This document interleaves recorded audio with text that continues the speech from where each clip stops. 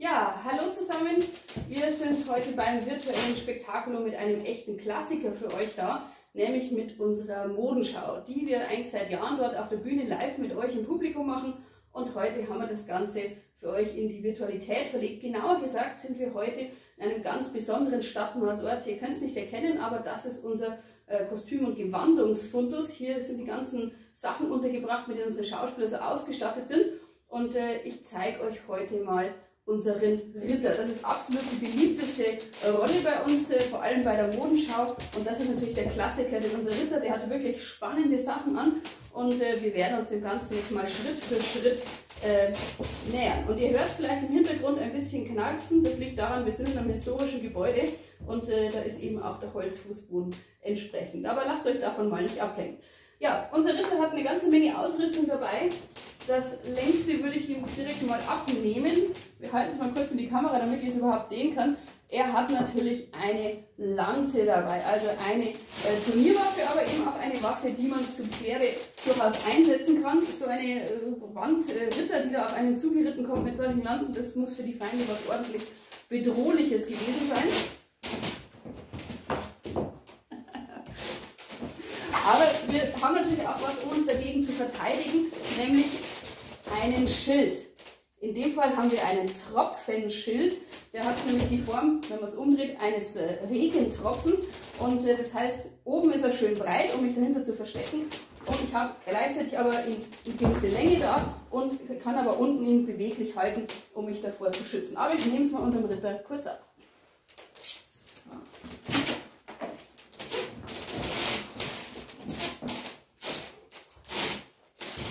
Jetzt sehen wir schon ein bisschen mehr, was unser Ritter so trägt. Ich würde mal sagen, den Helm, den nehmen wir mal als erstes ab. Ich darf mal ganz kurz die 6 Fuß unterschreiten, um diesen Riemen hier aufzumachen. Vorsicht! Wunderbar. Ihr seht meine lieben Kollegen den Philipp ein bisschen genauer und ich zeige euch auch mal diesen Helm. Das ist ein sogenannter Topfhelm, so genannt, weil er eben unten, in dem Fall oben, richtig flach ist und wie so ein Topf aussieht, den man heutzutage auf den Herd stellen könnte. Besonders viel sehen tut man mit diesem Helm nicht. Ne? Wir haben hier die äh, Sichtschlitze und wir haben ein paar Löcher, damit man ein bisschen Luft bekommt. Aber so richtig angenehm zum Tragen ist das Ganze nicht. Ich tue mich natürlich auch ein bisschen schwer zu sehen, wer ist mein Gegner, wer gehört zu mir. Deswegen ganz wichtig, bunte Farben, große Wappen auch auf dem Schild, damit erkennbar ist, wer gehört zu mir und wer vielleicht nicht. Drunter übrigens ganz wichtig natürlich noch Polsterung und Kettenhaube, weil wenn das Ganze einfach nur so auf dem Kopf aufsitzen würde, dann würde es bei jedem Schlag ordentlich hier drunter scheppern. Vielen Dank. Wir kennen den Ritter ja ganz klassisch als den Mann in der Dose, aber drunter war immer zu allen Zeiten immer noch jede Menge Kettenrüstung. Und zwar sind es ganz viele kleine Kettenglieder, die ineinander verwoben sind. Das war eine Sauarbeit vom Schmied, das per Hand zu machen. Das ist eine sogenannte Brünne, das ist die Haube. Aber ihr seht schon, der Ritter hat auch die Handschuhe dazu an. Solche trägt heutzutage zum Beispiel noch der Metzger, der sich nicht schneiden möchte. Also die sehen im Prinzip so ähnlich aus und das haben die Ritter im Mittelalter schon erfunden. So, jetzt lassen wir ihn noch kurz die Polsterungshaube abnehmen, damit man, ja, genau, wunderbar, jetzt wird's schon, sieht man schon ein bisschen mehr, dass da tatsächlich ein Mensch drunter steckt. Ja, unser Ritter ist ausgerüstet für kalte Tage. Einen Mantel braucht er natürlich. Das ist das äh, einfachste Kleidungsstück, äh, was man im Mittelalter Männlein wie Weiblein dabei hat. Aber er hat natürlich einen besonderen Mantel, nämlich einen Tasselmantel. Jetzt kommt mal ein bisschen näher an die Kamera. Hier vorne sind diese beiden wunderschönen Tassel angebracht und unser Philipp macht es ganz richtig, ganz elegant. Zwei Finger hier ins Tasselband hineingelegt. Das ist, um zu zeigen, er ist einer von den Schicken, einer von den Vornehmen am Hofe. Da zeigt man, dass man dazugehört zur High Society. Aber wir haben jetzt nicht Winter, ich würde sagen, wir nehmen es hier mal ab. Denn auf dem Schlachtfeld ist man natürlich deutlich beweglicher ohne Mantel. Jetzt sehen wir schon ein bisschen mehr, was tatsächlich äh, zur Kleidung des Ritters gehört. Und vor allem sehen wir die allerwichtigste Waffe. Die verbinden wir alle mit dem Ritter. Das ist das Schwert. Vielen Dank. Der Ritter zieht es mal für uns. und zeigt uns mal, wie man es auch hält. Das ist nämlich so ein Einhänder, anderthalb Händer. Mit einer Hand kann er es äh, sehr gut halten, aber der Knauf bietet durchaus noch Platz, um die zweite Hand mit dazu zu legen, wenn es denn mal sein muss. Das ist also nicht für eineinhalb Hände gedacht, sondern für eine oder auch mal zwei, wenn man die zweite Hand dazu braucht. Darf ich es auch kurz noch halten? Ein Schwert ist kein Messer, das ist ganz wichtig. Also ich kann mich hier nicht schneiden, wenn ich es greife. Es war nicht scharf geschliffen wie ein Messer, sondern es ist eine Hiebwaffe. Es geht darum, zuzuhauen. Man kann schlimme Verletzungen damit erwirken, aber es ist kein Messer, mit dem ich irgendwas schneide. Das merkt man natürlich auch daran, wenn ich wirklich mal versuchen würde, auf dem Kettenhemd bringt das tatsächlich überhaupt nichts. Das ist der perfekte Schutz dagegen. Draufhauen sieht schon anders aus, aber schneiden kann ich damit nicht. Aber das ist die allerwichtigste Ritterwaffe. Genau. Ich würde aber trotzdem sagen, das Schwert nehmen wir ihm mal ab, denn ich möchte euch ja eigentlich noch ein bisschen genauer die Kleidung zeigen, die drunter ist.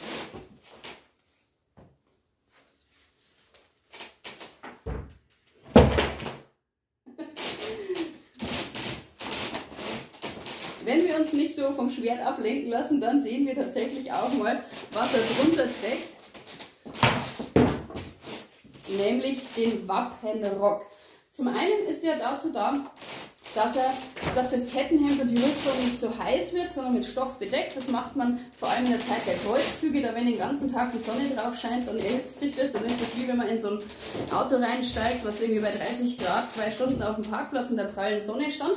Und vor allem unser Ritter kommt ja von Reiten. Er muss nicht reiten können, deswegen, auch wenn er lang trägt, vorne und hinten ist geschlitzt, damit er sich auch bequem aufs Pferd setzen kann. In unserem Fall vorne eben auch das Wappentier drauf, damit erkennbar ist, das ist Ritter Philipp.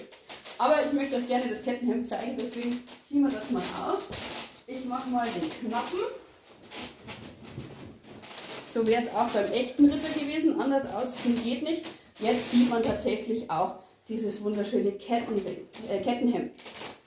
15.000, 20.000, 25.000 Ringe waren keine Seltenheit. Dazu die Brünnen, dazu die Handschuhe, auch Beinlinge aus Ketten und Schutz für die Füße kann man sich vorstellen.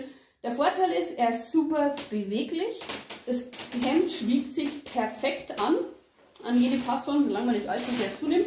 Und obwohl es relativ viel Gewicht ist, äh, ist es relativ angenehm zu tragen im Vergleich zu so einer Plattenrüstung, wo vielleicht irgendwie mal was zwickt oder zwackt. Aber ihr seht, unser Ritter ist absolut einsatzbereit. Aber auch dieses Hemd kommt mal runter. Da auch da gibt es Trick 17, wie ihr merkt. Es geht nur vorne über. Wie schwer ist dieses Kettenhemd? 15 Kilo. 15 Kilo, also trägt man schon einiges mit sich rum und das ist ja nur das Kettenhemd. Ja, ein schönste Kettenhemd bringt nichts, wenn ich es direkt auf meinem Hemd tragen würde. Ich brauche drunter eine Polsterung. Unser Philipp trägt hier einen ganz tollen Gambeson. Das ist nichts anderes als eine dicke, gesteppte, wattierte Weste, in dem Fall eben auch äh, mit langen Ärmeln, damit er rundum geschützt ist, damit er eine gewisse Knautschzone hat wenn tatsächlich doch mal ein Schwert seine Deckung durchbrechen sollte. Aber wir wollen ja wissen, was drunter ist. Das wird jetzt schon schwieriger zum Ausziehen.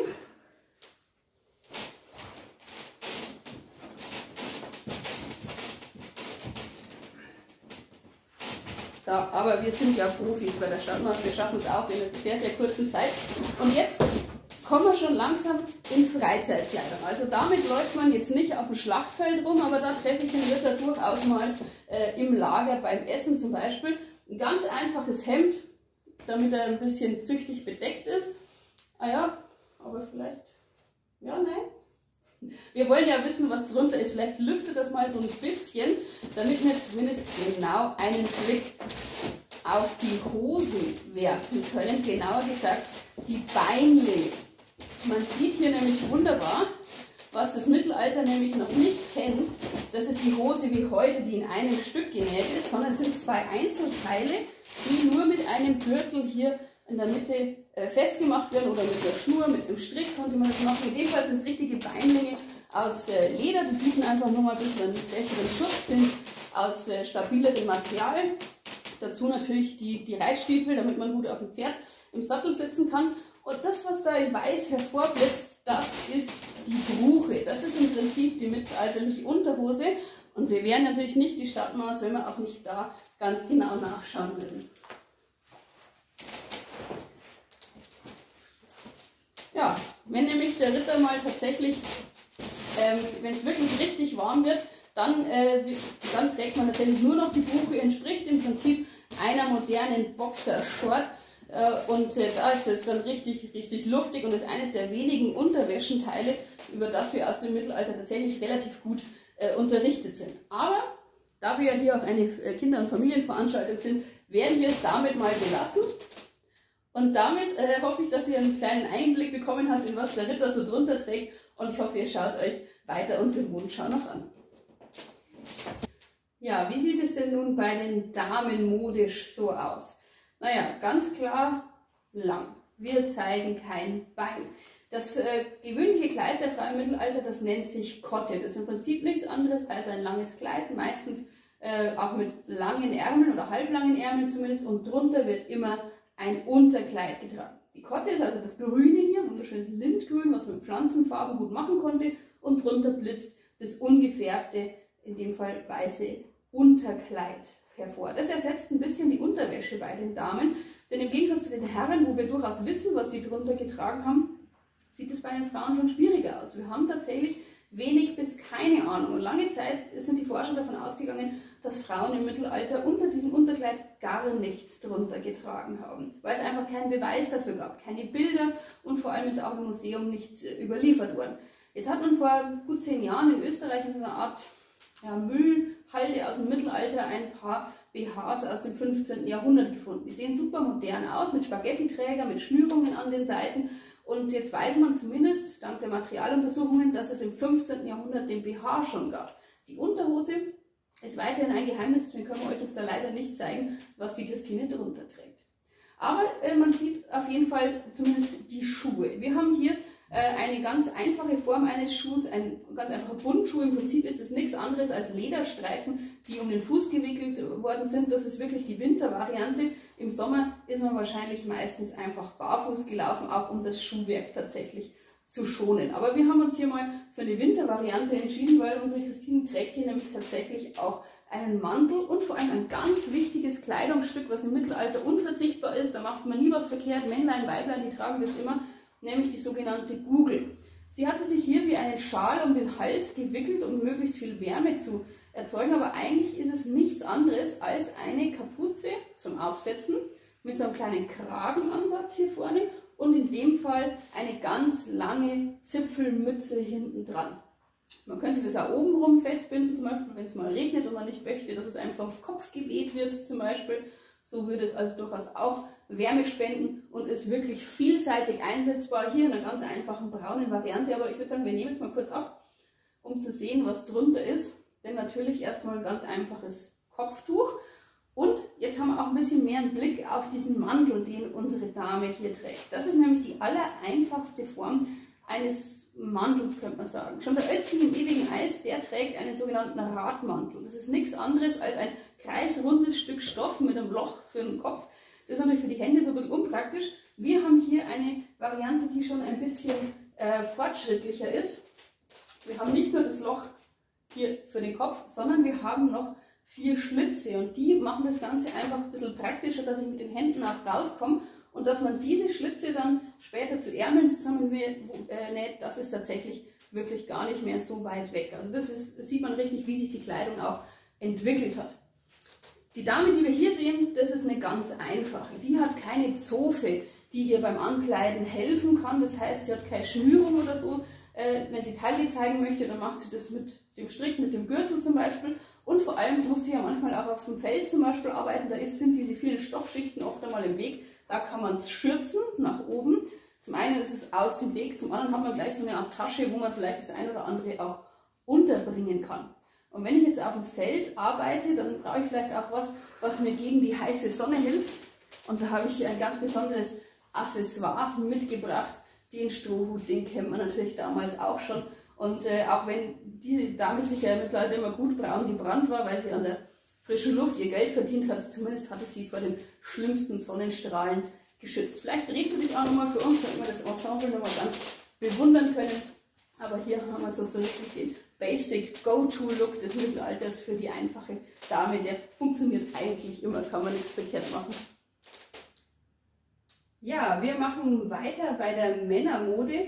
Dieses Mal sind wir weg von den Recken, von den Kämpfern und hin zum schicken Bürgertum oder auch zum Adel. Also wie zieht sich der schicke Höfling an, wenn er bei Hofe so richtig Eindruck schinden will? Vielleicht jemand, der äh, sein Geld nicht mit dem Kämpfen verdient, sondern eher vielleicht viele Ländereien zu Hause hat. Und da bitte ich doch mal mein nächstes Model zu uns.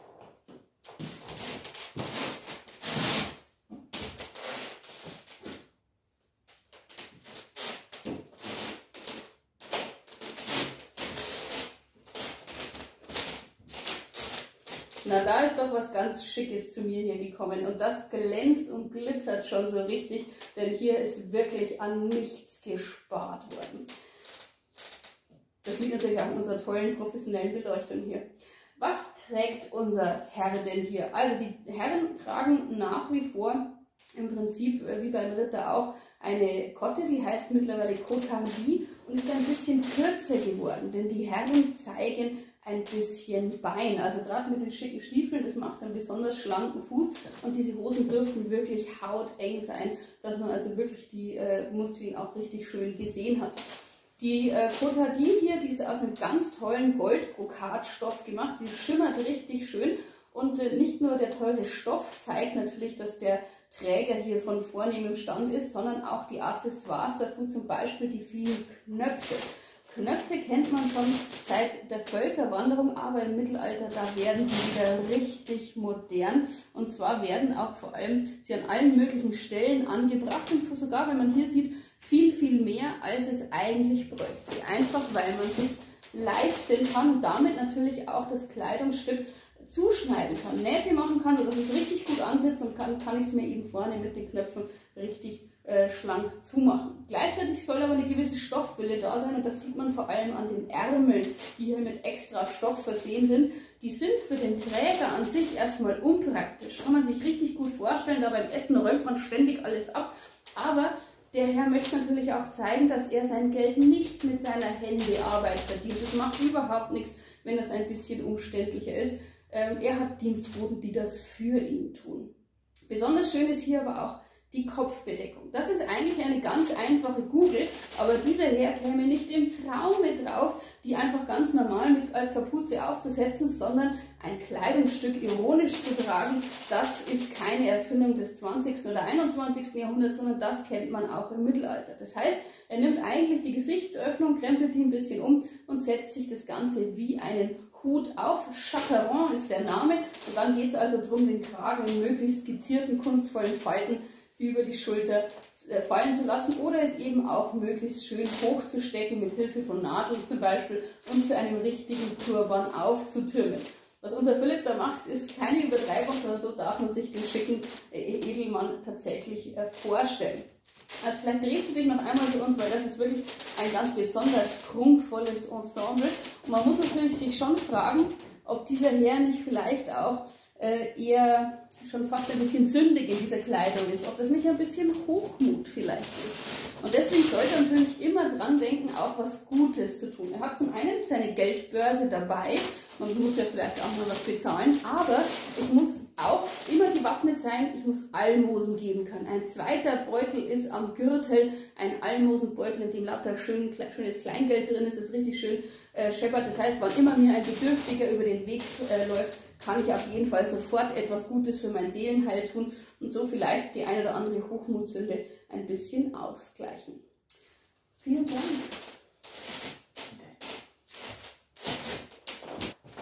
Ja, die Damenwelt wollen wir uns natürlich auch genauer anschauen und äh, bei vor allem natürlich auch die vornehmen, die richtig schicken Damen. Und hier habe ich mir eine ganz besonders tolle Edeldame geholt, unsere Christine, vielleicht äh, eine Kaufmannsgattin, die sich hier zum Beispiel darstellt. Und äh, da schauen wir uns doch mal an, was die Damen so tragen. Natürlich trägt die Dame im Mittelalter lang. Selbstverständlich. Bein wird auf gar keinen Fall gezeigt, überhaupt relativ wenig Haut. Und deswegen äh, gilt es natürlich, einen langen, möglichst weiten Rock zu tragen. Viele Stofffalten, Stofffülle signalisiert einfach Reichtum. Ich kann mir den Stoff leisten. Ich muss nicht auf jeden Quadratzentimeter schauen. Und äh, deswegen werden vor allem auch viele Schichten übereinander getragen. Ähm, wir haben also eine Kotte, das ist in dem Fall das, was hier drunter ist aus blauem Samt. Genau, ganz drunter das Weiße ist das Unterkleid, das kennen wir ja schon. Dann kommt drüber eine blaue Kotte, das ist das, was mit den langen Ärmeln hier auch rausschaut. Und dann oben drüber nochmal eine Überkotte, man nennt das ein Surco, also nochmal ein extra Hängerchen sozusagen. Diese Kleidungsstücke sind alle sehr, sehr lang, so lang sogar, dass man Schleppen mit dabei hat, dass man sich beim Laufen sogar ein bisschen raffen musste und festhalten. Das machen wir für unsere Stadtmarsch-Schauspielerinnen nicht. Die sind draußen auf der Straße unterwegs. Ähm, die haben niemanden, der ihnen die Schleppe trägt. Deswegen kann man es hier eben ganz genau bodenlang. Aber deswegen spitzt ab und zu auch mal das Schuhwerk hervor. Und zwar der wunderbare Schnabelschuh. Das machen wir jetzt mal ganz unzüchtig, dass wir uns das anschauen. Diese Schuhe äh, die haben vorne eine lange Spitze, die sogar ein bisschen nach oben gerollt ist. Und das hilft ein bisschen beim Gehen, die langen Röcke auch nach oben vom Fuß wegzustoßen sozusagen. Und diese Schnabelschuhe, die sind angeblich von Grafen Fulco von Anjou erfunden worden. Der konnte angeblich gar nicht anders laufen als in solchen Schuhen. Und zu ihren äh, höchsten Auswüchsen waren die Spitzen angeblich so lang, dass man sich bis ans Knie hinan gebunden hat. Ob das jetzt stimmt, wissen wir nicht. Wir sind hier bei einer etwas zurückhaltenderen Variante mit einer kleinen runden Spitze.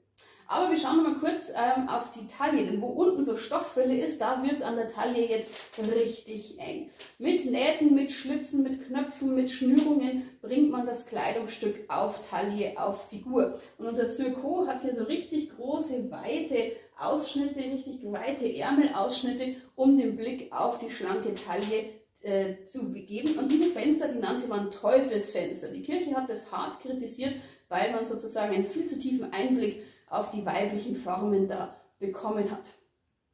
Unsere äh, Christine trägt hier auch eine ganz tolle Ärmelvariante. Wir sehen zum einen wieder viele Knöpfe. Knöpfe sind ein einfach ganz wichtiges Detail. Je mehr, desto besser.